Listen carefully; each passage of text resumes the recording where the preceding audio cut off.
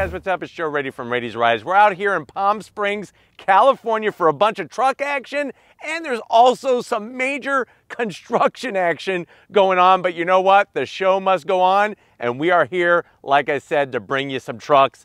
We're gonna start off with this one. This is a updated, changed up, refresh 2022 Chevrolet Silverado. But guess what? This isn't any Silverado. This is the High Country. But before we get into this full size, full luxury pickup truck. Let's talk about what's going on here. Chevrolet, that brand, the bow tie, really bringing a variety of vehicles. And of course, their trucks have been one of the go tos for so many decades for so many people. Now, obviously, in the 21st century, the name of the game has changed when it comes to trucks. Lots of trucks being bringing luxury items, luxury amenities and finishes like never ever seen before in the industry. Lots of competition, of course. This being an American brand, we have another American brand to compare it to. I want to go ahead and not only show you what these new touches are for 2022, not only on the Silverado, but on the High Country in particular, but I also want to compare it to that other top dog the Ford F-150 Limited to see if Chevy did enough for this 2022 model year to bring the highest level of luxury, but also that truck capability to your garage. So let's go ahead, like I said, let's find out what's new with the 2022 High Country Silverado and see is it the better truck to buy over the F-150 Limited? Let's find out. Now, right off the bat, you're gonna see the changes and it's gonna hit you like a ton of bricks in a very good way. So we have updated headlight housings, updated lighting, and even updated daytime running lamps. You'll notice how they really thickened the whole daytime running lamp up. That's also your turn signal. You got your new style of LED headlights. Chrome finish makes sense because of this being the high country. And then working your way down, you'll see that unique style to the way they do the front end, especially with the corner air curtains. These are functional. I do like the way it's got these horizontal bars, but what's nice is it's gonna help channel that air, clean up the airflow down the side of the vehicle. Definitely, you could tell it's a Silverado, but I'm liking the direction that they went in. Of course, we got this beautiful white pearlescent paint that pops like a diamond. Love the way it's color matched on the metal bumpers and on the front fascia itself.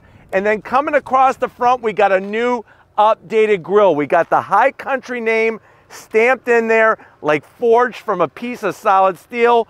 You got the massive bow tie, that Chevrolet bow tie. And then you'll notice this being a High Country, this particular grill with the dark bronze accents on each of the levels. Now, as we go all the way down to the bottom portion, of course you're gonna need some tow hooks. And we have these nice polished chrome tow hooks on both sides. A little bit of silver trim, kind of makes everything come together. But these tow hooks are gonna be used to help pull those F-150s, those Ram 1500s, and heck, even the new Toyota Tundra help pull it out of the dirt and the mud. You do get a forward-facing camera with a washer. So not only does this truck have the looks, it's got the technology that you want when you're doing truck-like things. Maybe just cruising around the parking lot of your favorite mall or doing some work stuff. But I really like the way they refreshed and kind of brightened things up. Now, when we get up onto the hood, you're getting that bold Chevy Silverado hood with the bulge in the center. That's what every guy and girl wants out of their truck is a nice bulge. You're gonna see some numbers and some letters. What does it mean? 6.2 liter. We got the big boy this is that 6.2 liter V8 underneath the hood. Very classy way of putting the badging right on that bulge. Now, as we come around the bend, the great news is when you're looking at the high country, no flat black plastic. Everything is painted in that beautiful pearlescent white color. What do we got for 2022? New wheels. Love the metallic silver, the chrome inserts, and guess what? This is a 2022. This is a 22 inch wheel. So when you go high country, you're going big with this 22 inch wheel. I like the way they got this center cap, kind of cleans up the whole wheel, gives it a nice dynamic look and covers up all the lug nuts. And if you're wondering, Joe, what's the size of this thing? 275 on the width, 50 series sidewall, and like I said, just perfectly balanced. Now, if you're comparing this to an F-150, I would say probably the biggest thing I could say about the F-150 is that it looks a little bit more like what people imagine as a truck. You look at the front of this, this one looks a little bit more modern, whereas the F-150 has some of those traditional lines. So something that you're gonna have to balance on what you like. But 22 inch wheels, that's nothing to laugh about. Coming down the side, you do have that classy high country badge. Everything is chrome. So if you don't like chrome, you may not love the high country trim, at least when it comes to the badges, but it kind of makes sense. Just like on a GMC Sierra Denali to bring the chrome, they bring the chrome tenfold with this high country. Now new for 2022, we do have the chrome uh, aluminum finish on the mirror caps. And then of course, you're gonna get, you'll notice the 360 degree cameras and wait until you see the resolution and wait until you see the screen size that we got. We're gonna be showing it to you very shortly. Bright, shiny metalwork along the bottom. I like the way it kind of, like a, like a, a putter. We're here at Palm Springs, lots of golf courses. You got that putter style out the back. We got chrome on the door handles. And then new for 2022 is this chrome strip just to add a little bit more depth. And you'll notice that bronze style cover with the Silverado name stamped into it. Watch this. Open up the door, wha-bam. What do we got? We got those electric dropping running boards. You close the door and then it tucks in nicely. And I think one of the things that I like over the Ford is how when they're tucked up, it looks like another design element. And then it becomes very useful when you open up the door. And then you could do things like this. You could jump on it like a trampoline. But those are the kind of things that you get to do with your truck. It's just those types of things that you get to do. Now, working your way towards the back, you'll notice of course, just like when this Silverado first came out in 2019, we got all swinging metal. So this is made out of metal, this door, it swings, all aluminum. That's gonna help uh, save weight. Of course, with the bed, you got that nice usable space. You can see that body on frame construction because you can actually see the freaking frame through the wheel well there. Lori doing a bang up job as always, of course. And then swinging around the back, we have some new touches. Check out the lights. I'm actually digging how this design on the bed actually flows into the taillights, LED taillights, the Silverado name. You got those nice steps built in, even if you have a Buffalo cowboy boot. Not just a regular cow, cowboy boot, but a Buffalo cowboy boot. You actually could get that in there no problem. Chevrolet all the way across, high country badging, of course, if we have a nice color match front bumper, we have a nice color match rear bumper. I love the way they do the exhaust, nice and clean on both sides, functional exhaust for that V8. You got all your tow capability. And then what else do we have technology wise? Watch this. Electric dropping tailgate. The only one like it. You pull it back up. I'm gonna look for the button. One, two, three, you get a little bit of a beep saying, hey, don't get your hand caught in there, but I'm gonna hit it again because I wanna show you the back of the truck. The way that everything is welded is to give you a little bit more width. We got LED lighting, you got your power source. Get your buzz saw, your chainsaw, whatever you got, you can plug it in there, jigsaw. We got all of our tie down locations and you have that power sliding rear window glass. But of course, I know you want to see underneath that hood, so let's go ahead, let's pop the hood. Look at that, it's pretty cool, electric closing like that. Let's go ahead, pop the hood, and see what's powering this all right, guys, we got the hood popped. You do have those hydraulic hood struts. Now, unlike the Ford F-150 Limited trim, which remember that has that 3.5 liter twin turbo V6, what do we get optioned in this one? This is that tried and true naturally aspirated 6.2 liter V8 engine. So what are we talking about?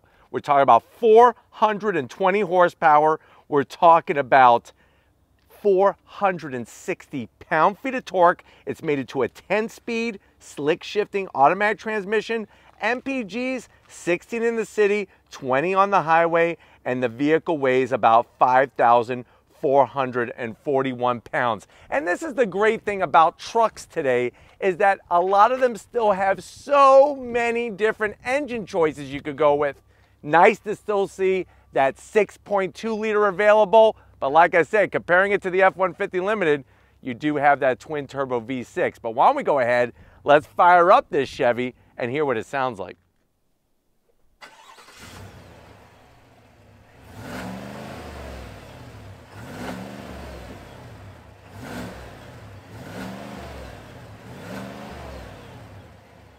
All right, guys, we're inside this 2022 Chevrolet Silverado high country trim. I know you're saying to yourself, well, Joe, I'm liking the changes on the outside.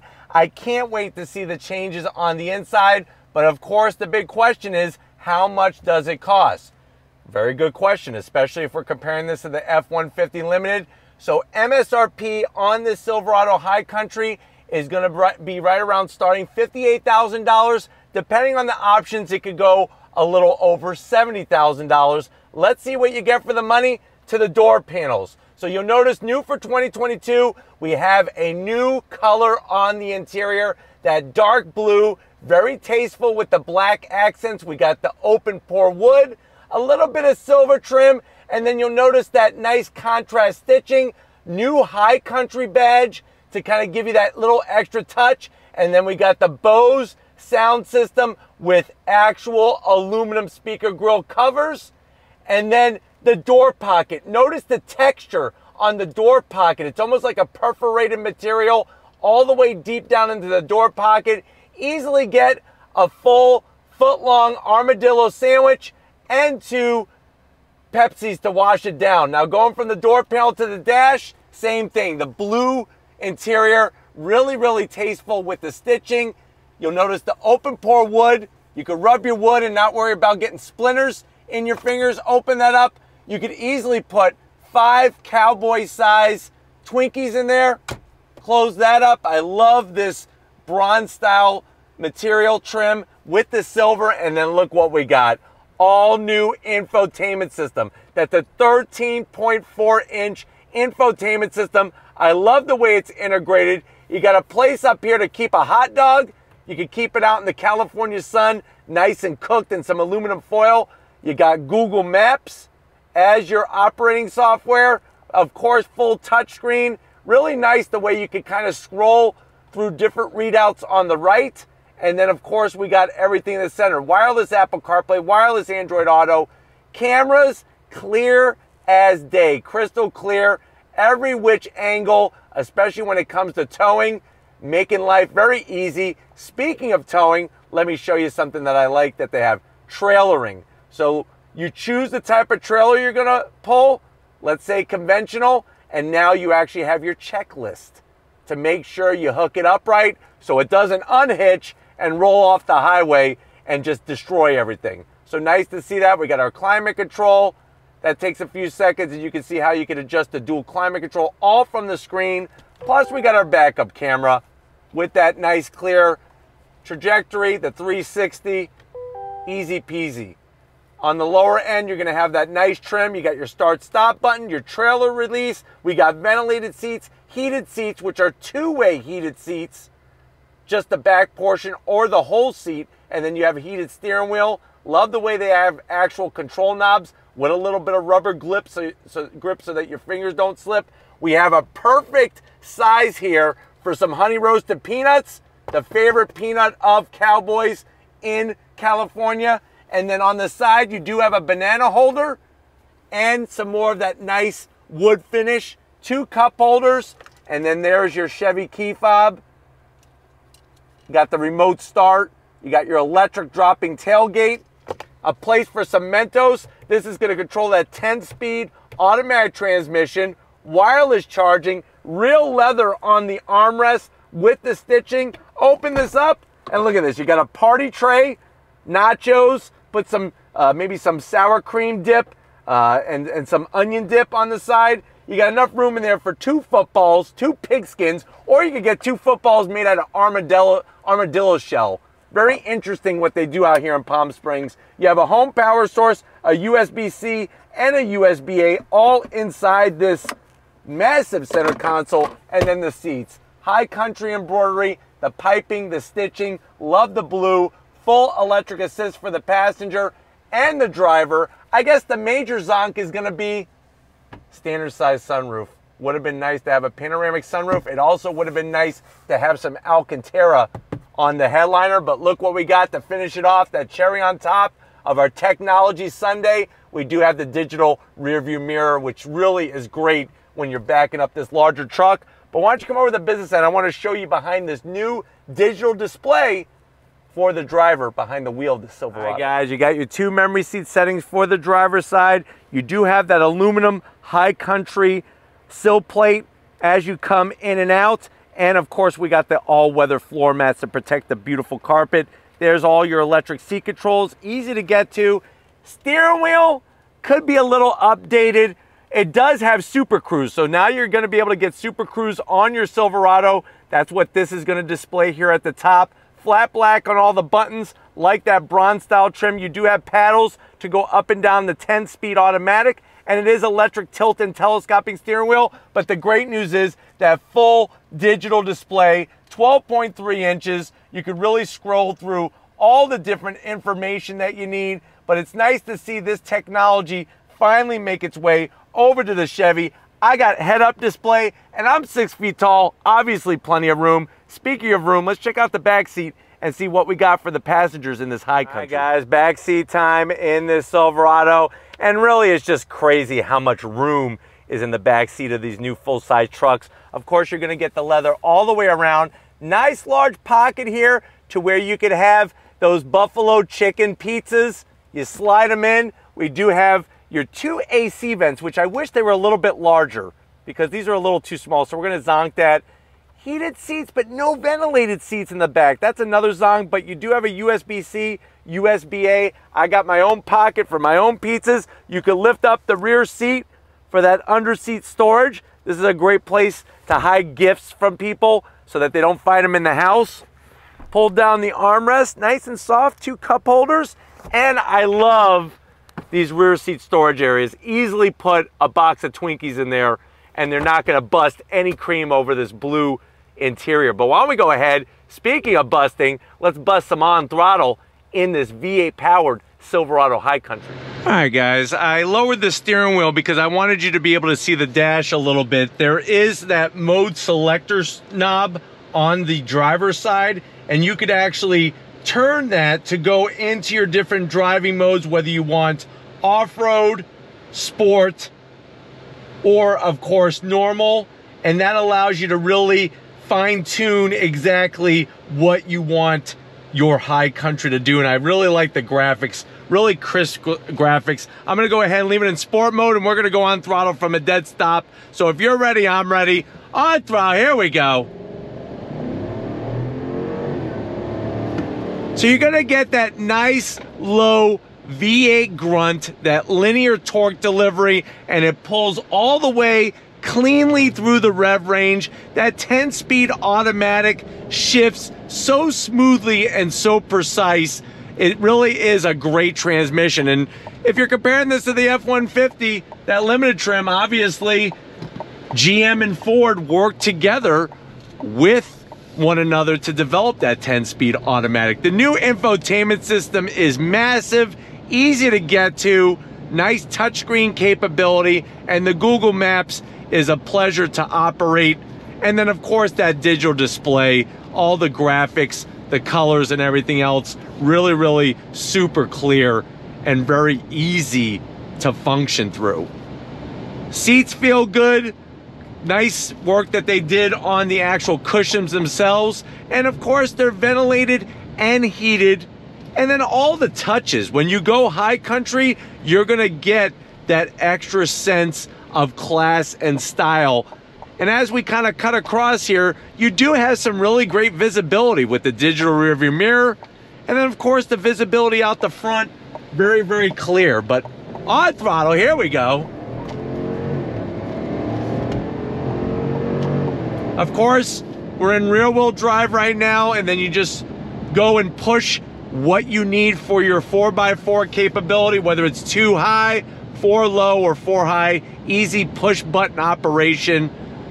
But I really think if you're comparing this to the Ford, I, I love the way the infotainment system is in this new Chevy Silverado with these changes and the digital dash as well Uh, I think I'm liking the infotainment more than in the F-150. And for sure, the Silverado smoke checks the F-150 when it comes to the clarity of the cameras.